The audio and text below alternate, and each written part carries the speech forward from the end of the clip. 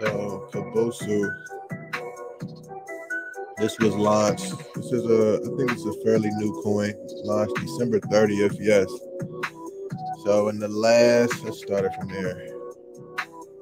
It went up about 26x since basically it launched.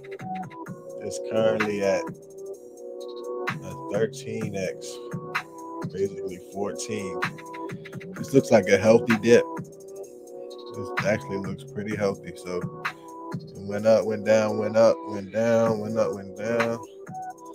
You know, has to keep this support level. This looks kind of healthy. This is a total liquidity of 157k. 24 hour volume is 761,000. Total market cap is 1.88 million. Let's check their website out.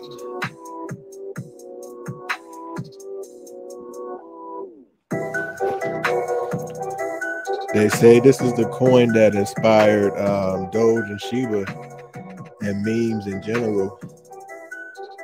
Uh, it's a token of dedicating appreciation and awareness of Kabosu, the Shiba Inu doll that inspired Dogecoin.